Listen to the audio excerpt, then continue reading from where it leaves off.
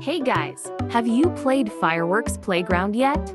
If you haven't, I have some promo codes for this game. Search for Fireworks Playground. Once it has loaded, go to the shop, and on the top, there is button that says Redeem Codes. Here is a list of 9 codes.